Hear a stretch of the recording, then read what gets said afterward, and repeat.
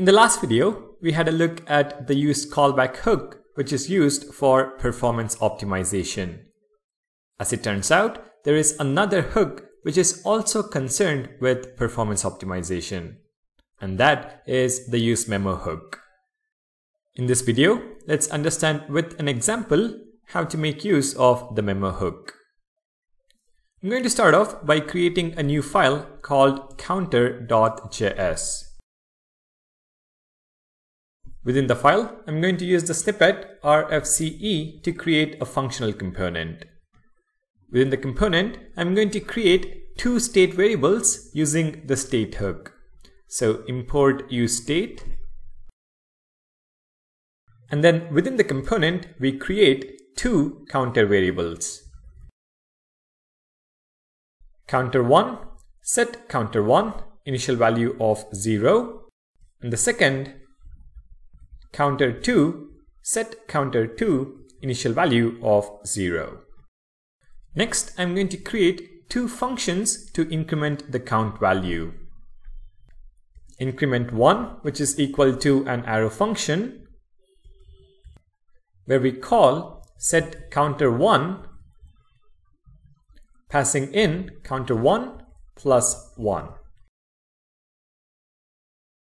Similarly, const increment 2, which is again an arrow function,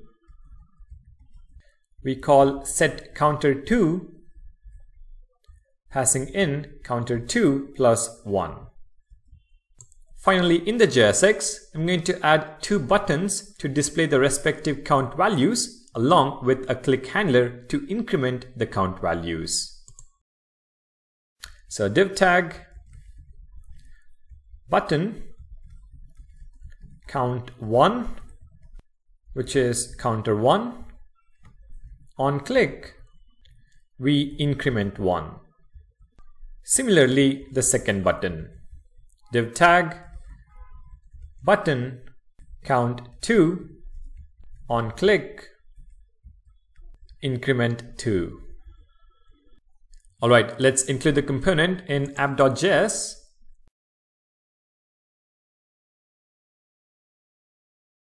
and head to the browser. You can see that we have two counters. I click on the first button and its count value increments. Click on the second button, the second count value increments. Nothing that we have not learned already. Well now we have a new requirement. Next to the first counter, we need to indicate whether the count value is an odd number or an even number. Sounds simple again, so let's go back to VS Code and create a function that contains the logic.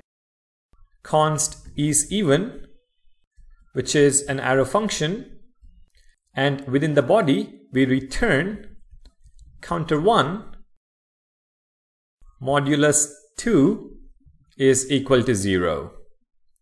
Next, in the JSX, we include a span tag. And then we check is even? We display even. Else we display odd. Alright let's save this and test it out. Initially you can see that counter 1 is 0 which is even. I increment counter 1 and the text changes to odd.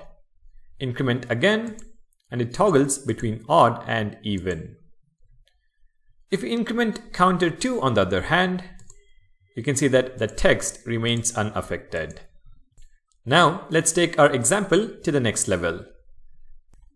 At the moment, we have a simple is even function which takes hardly any time to execute.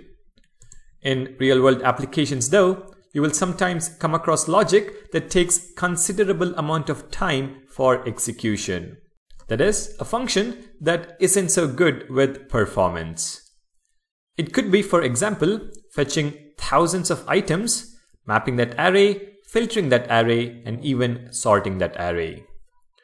Now we don't really have that kind of logic here, so let's induce some slowness into our function. So within the is even function, I'm going to declare a variable, let i is equal to 0, and then add a while loop that simply iterates for a long time. So while i is less than 2 followed by 9 zeros, you're simply going to increment i, so i plus plus. So the loop doesn't really affect our return value, but it does slow down the rate at which we compute whether counter 1 is odd or even. Now let's save the file and see what happens in the browser. To start off, we have initial count set to 0 for both the counters. I click on increment counter 1 and you can see that there is now a second or two delay before the UI updates. I'll click again, so watch closely. See that? Our UI is slow in updating. And this is because in the UI, we are rendering whether the number is odd or even. And that logic is from the isEven function, which as it turns out is really slow. Now this of course is expected. If the number changes, React needs to check if the new number is odd or even. But take a look at this. I now click on increment 2 and still there is a delay with the UI updates. Watch closely. I click and after a second or two, counter 2 increments. This is strange though, isn't it? Why is counter 2 slow as well? Well, that is because every time the state updates, the component re-renders. And when the component re-renders, isEven function is called again. The function is slow and hence even when we update counter 2, the UI update is slow. So what we need is a way to tell React not to recalculate certain values when unnecessary, especially the ones which take a long time to compute. In our example, we need to tell React not to calculate whether counter 1 is odd or even when we are changing counter 2 values. This is where the useMemo hook comes into picture. UseMemo is a hook that will only recompute the cached value when one of the dependencies has changed. This optimization helps to avoid expensive calculations on every render. The way useMemo works is very similar to how useCallback works. First, import useMemo from React. Next, within the component, call the useMemo hook. As the first argument, we pass in the function whose return value needs to be cached. In our example, this would be the arrow function to calculate if a number is odd or even. So I'm going to cut this arrow function and paste it as the first argument. As a second parameter, we need to specify the dependencies. Our function depends on the value of counter 1.